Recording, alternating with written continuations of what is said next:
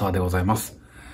えっ、ー、と、本日は2023年の8月の11日、えー、私は今、スウェーデンのキルナという、えー、北極圏にいます。キルナのホテルにいます。で、明日からですね、えー、明日8月の12日から17まで6日間ロングトレッキングというのをしてきます。僕がお世話になっております、えー、スウェーデン初のアウトドアブランド、フェールラーベンの、えー、イベント、フェールラーベンクラシックというのに参加しまして、えー、明日から6日間、電波の入らない、えー、まあ、低山ばっかりなんですけども、まあ、本当歩く、ハイク、ロングハイクというか、全く電波入らないところで、5泊6日、ずっと歩く、えー、総距離は110キロぐらいです。まあ人生でそんなに長く歩いたことありませんので、しかもリュックを背負って歩くということで、まあ普段はキャンプ道具、リュックに全部入れて、まあ歩いたとしても30分ぐらいですかね。釣りキャンプをするときに海岸を30分ぐらい歩くぐらいが関の山で、こんな本格的なトレッキングをするのは初めてなので、なるべく軽量。膝壊したらやばい。えっと、で、途中危険とかする場合は、電波が通じないんで、衛星電話でヘリコプターが飛んでくるそうなんで、まあ一応、えー、日本から来るフェールラーベンの代表として行くので、絶対そんなことはあってはならないということで、めちゃくちゃ慎重にギアを選んで、軽量化をしておりました。で、自分自身の軽量化も、えー、2ヶ月ぐらい前から食事制限と運動で7キロ痩せまして、なんとか俺の膝を持ってくれという感じなんですけれども、えー、今日はですね、そのバックパックの中身を今ここに全部並べましたので、一つ一つ紹介したいと思います。さあ、どっから行きましょうか。端から、端から順にこうやって紹介していきますね。えー、っと、この洋服関係なんで、洋服関係一旦置いといて、よいしょ。まずは、なんでこれからなんだろう。ビオレ UV です。ものすごく乾燥しているということで、保湿成分が入った、あんまなかったけど、見つけて薬局で、ビオレ UV。なんかね、肌ガビガビになるそうです。日焼け止め。そして、ここはですね、ワセリンと包帯と靴ずれ防止のサージカルテープ。靴ずれ一回しちゃうとずっと痛みが続くそうなので、慎重にということで、あと、ベビーパウダーです。一日歩いて、キャンプ地に着いて、で、テント立ててくつろぐ時に足に塗って乾燥させるという目的でよく、え使用されるそうなので持ってきました。なんだっけ？ガーニーグーです。皆様ご存知ガーニーグー？えー、知らない人のために言うと、俺もよくわかんないですよ。あの、生配信でこれがいいよっていうのを教わって、なんかこう、長時間歩く時とかに、擦れる部分、足のかかととか、あとは膝とか、ブーツ履くんで足首とか、そういう擦れる部分に塗ると、とてもいいそうです。試してないですけど、ちょっと1日目終わって、ちょっと足やばそうだなと思ったら、使おうかなと思ってます。ガーニーグーです。そして、こっちが、えー、傷パワーパッド。あとは、まあ、ピンセットがあったり、マキロンがあったり、トメフル、えー、傷やけど、やけどした時によく使うかな。あとはこれも、あれですね、包帯的な布テープ。で、今回は、お薬が結構あって、セイロガン、あと、ロキソニン、あと、風邪薬、ルル、あと、えー、リボスミン。リボスミンは睡眠導入剤ですね。寝れないっていうのが一番きついんで、続いて、ソーヤです。えっ、ー、と、浄水器。浄水器と、これ浄水ボトルね。この中に水を入れて、浄水器でこして飲むと。で、基本的に水道みたいなものは一切ないので、えー、川の水を飲むことになるんですけど、まあそのまま飲んでも大丈夫だよっていうふうには言ってたんですが、まあその土地に慣れていないもので、腹痛怖いんで、セロが持ってますけど、川に着いたらこれで浄水して、浄水したものをボトル2つあるんですよ。こっちも。あの、これはあの、保温、保冷できるボトルに、えー、浄水して詰めて使おうかなと思います。そして、これは、生配信でも紹介したことがありますけれども、お酒を持っていく用のプラティパス。ここにウイスキーを入れて 800ml だけ入るんで、川の水割りを夜な夜な飲もうかなと思います。あとこれは、まあ三脚ですね。で、今この撮影用に使ってるでっかい三脚と別に、えー、ちっちゃい三脚。あとはヘッテン。スルーナイトのヘッテンです。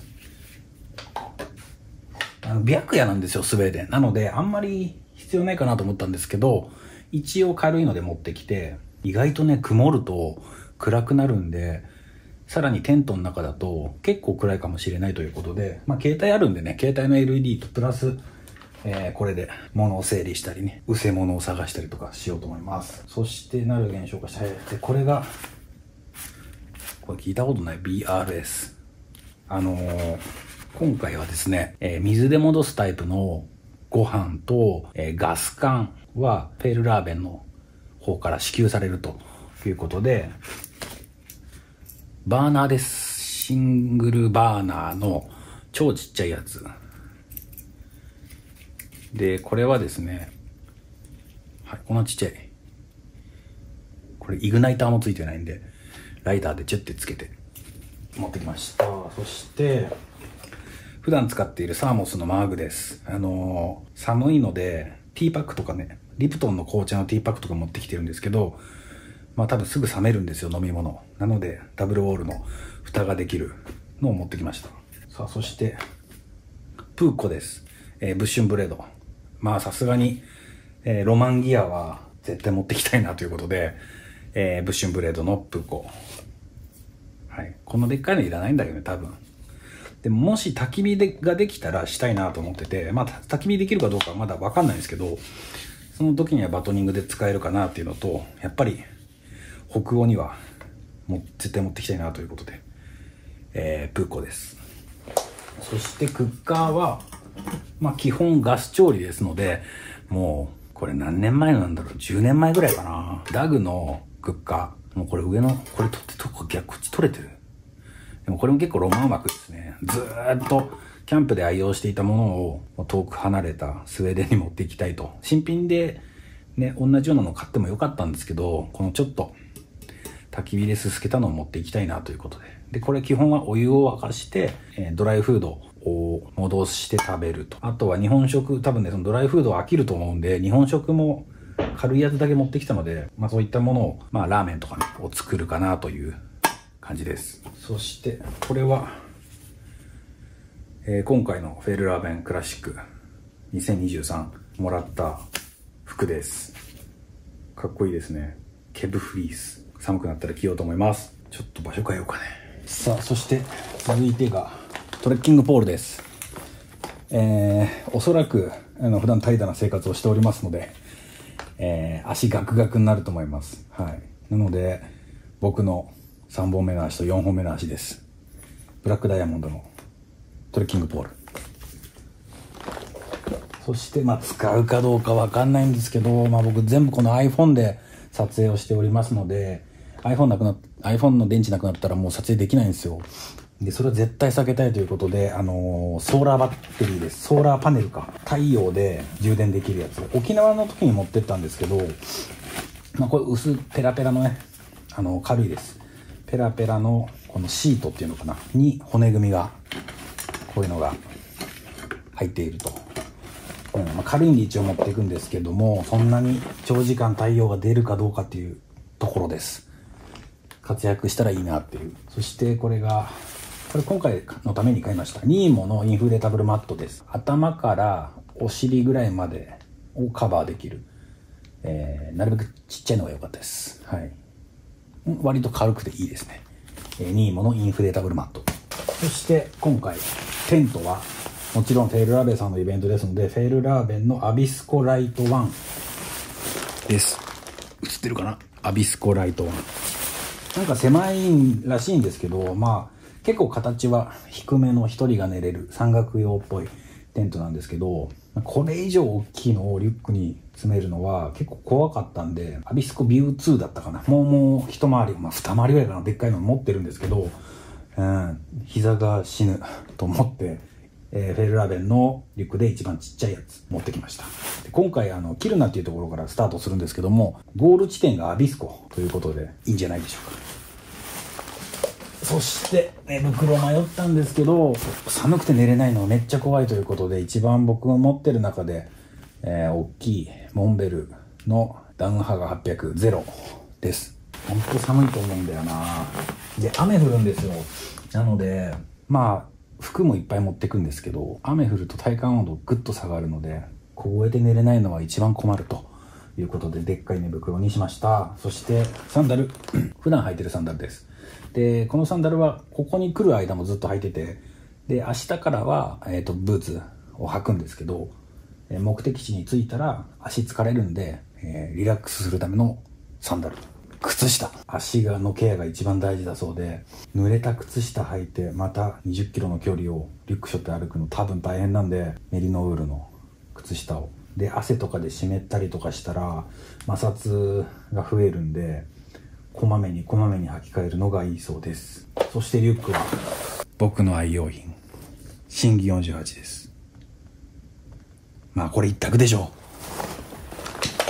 じゃあ続いて、食事と衣類行きましょう。はい。まずは、えっ、ー、とね、めっちゃ寒くなるそうで、急遽、ストックホルムのアウトドアショップで買いました。ブラックダイヤモンドのグローブ、トレッキンググローブ。で、グローブしてて雨降ってきたら、この防水のがつけれるっていうやつ。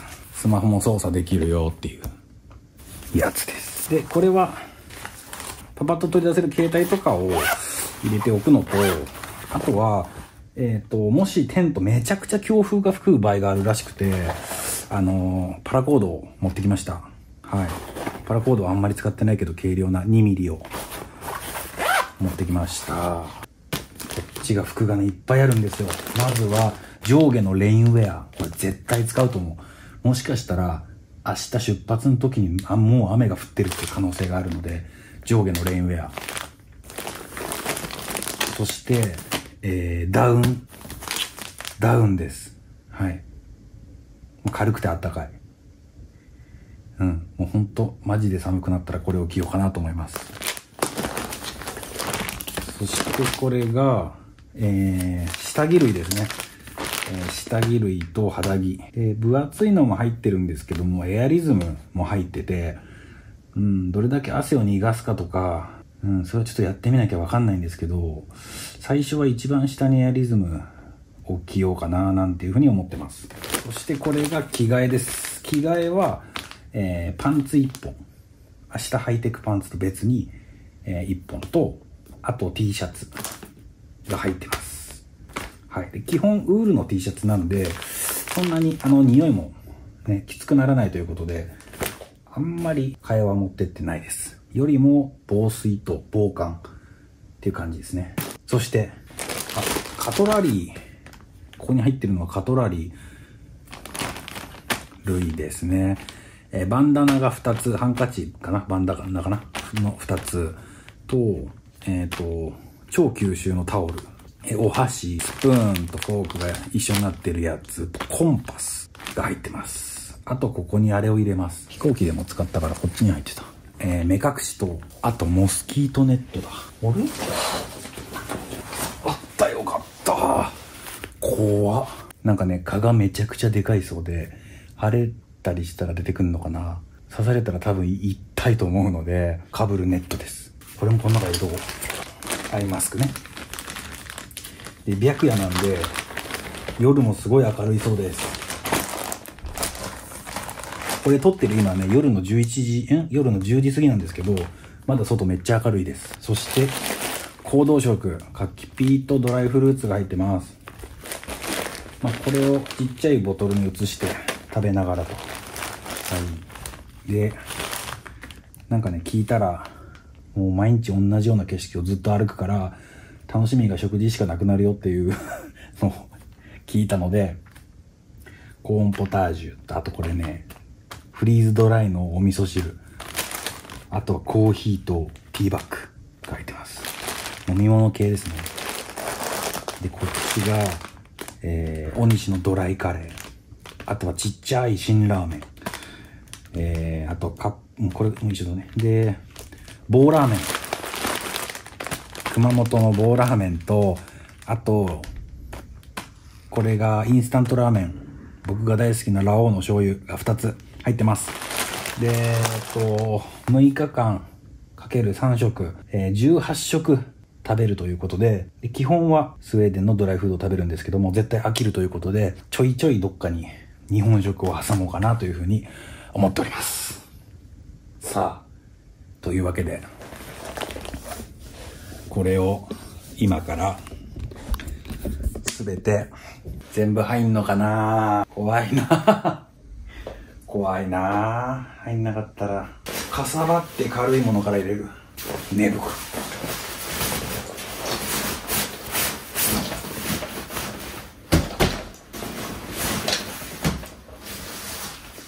テント。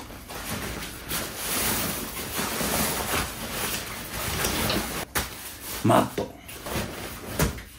こっからだよな。ソーラーパネルこれがここに入るとありがたい。トレッキングポールは多分最初から使うんで入れない。この辺も多分最初から着てる。サンダル。あとは細々したものがサイドに結構入るので服。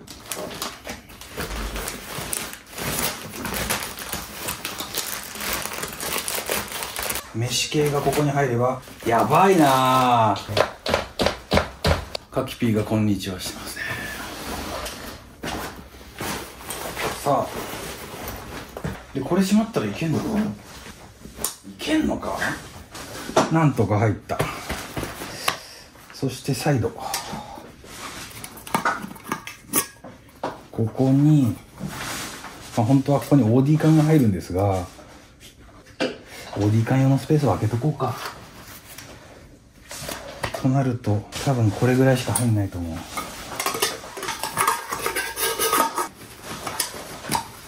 ちなみに僕の横で僕と一緒に行く朝木さんがパッキングしてます。OK でここ深さあるんでマグが入る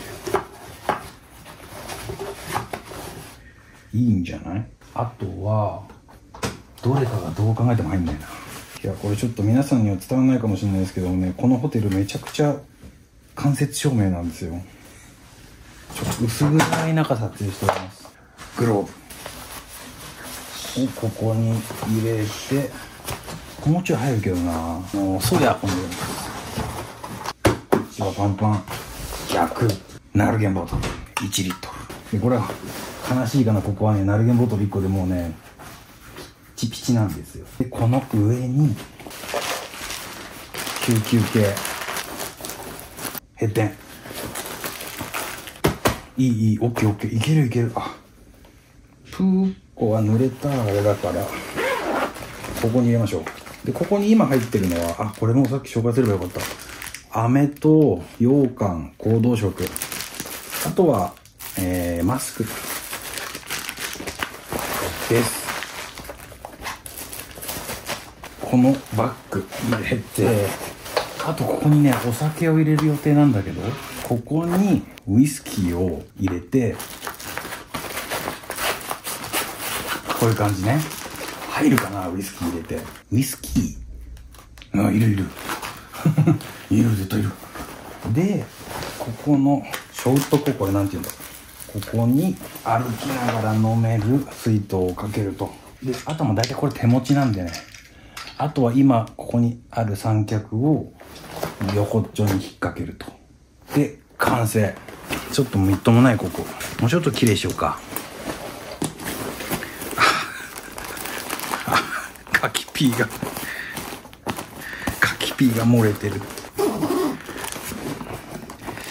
いや普段持ってる焚き火台とか火ばさみとか結構金属製の重いものがないので大丈夫だろうって思ってるんですけどこれ背負った時になんて思うかだな。背負ってみましょう。クラシックの。来て。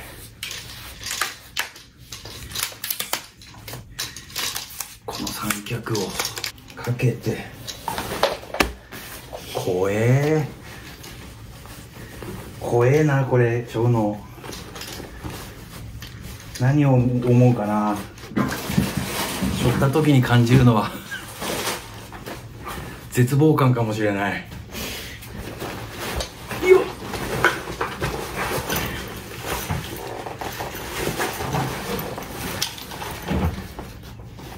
おおなるほど。あ思ったより。重い。あ想像より重いぞ。何キロかなあ